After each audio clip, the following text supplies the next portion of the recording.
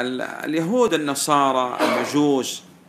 إخواننا في هذه الأيام هناك من يشكك في مسلمات عندنا أهل الإسلام. يقول يهود ونصارى هذه إخواننا ويدخل الجنة. هذا كذاب. هذا يغش اليهود والنصارى ما ينصح لهم.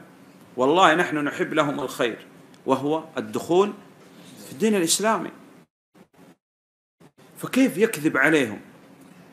أصلا هذا اللي يقول اليهود والنصارى إخواننا ويدخل الجنة هذا ما يقرأ الفاتحة؟ يقرأ؟ ما وجد مسلم يقرأ الفاتحة. طب هو ما يقول غير المغضوب عليهم ولا الضالين؟ عجيب والله هذا.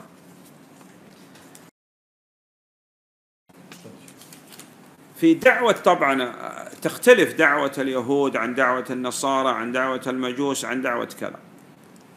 هذا عند بعض الناس لكن أحسن طريقة وأسهل طريقة في دعوة يهود نصارى مجوس روافض ما هي؟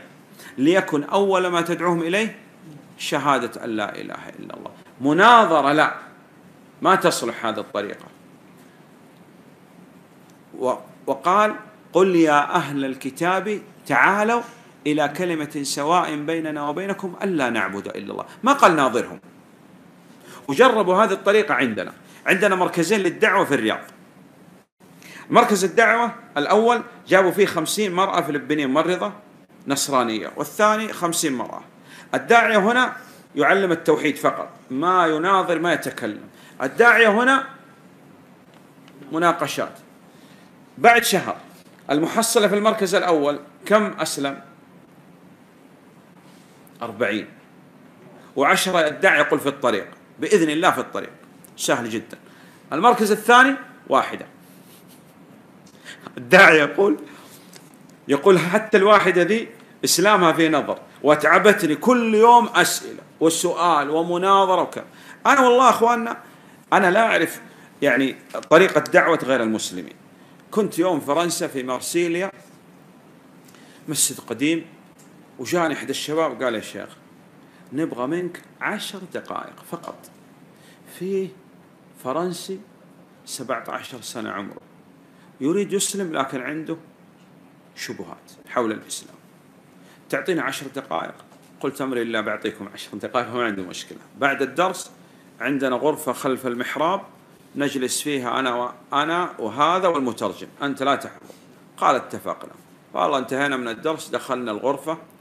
والمهم بدأت أتكلم معه عن طريق المترجم. قل له ماذا لديه؟ قال لدي شبه قلت الحمد لله يكفي في الرد على الشبه أنها شبه وانتهينا. فالمترجم قال لي يا شيخ نسمع منه. قلت أنت هنا مترجم ما لك علاقة. تريد أنت تسمع للشبهة أنا أمشي. وهذا يتفرج علينا الآن الشاب. قلت يا أخي عملك هنا تترجم. تفلسف مو شغلك. ولا نمشي؟ قال آسف. فقال له أنت تعرف أن الإسلام حق والشبه يكفي في الرد عليه أنه شبه. قلت إيش رأيك؟ قال ماذا أصنع؟ قلت تسلم الآن. وأنت تعرف إسلام حق.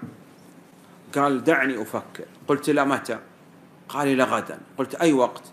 قال يعني بإذن قال مثل هذا الوقت. قلت تضمن لي أنك تأتي غدا؟ قال ما أضمن. قلت خلاص أسلم الآن. نطق بالشهادة. هذا مترجم طلع الجوال يبغى يصور إيش؟ نطق هذا بالشهادة وأنا ألتفت إليه. قلت شفت الآن لو فتحنا الشبه ما انتهينا. خلاص خذوه الآن. أخذوه اغتسل وصلى أعطوه كتاب ثاني يوم معنا في الدرس. لا تفتح باب الشبه يا رجل. الآن لو أقول ها الكويتيين انت فيكم. قال وانت السعوديين فيكم. صح؟ وما انتهينا. صحيح؟ اي ممكن تأتي بعض الشبه ترد عليه. أما تفتح باب الردود باب الشبه هذا والله هذه ليست طريقة نبوية.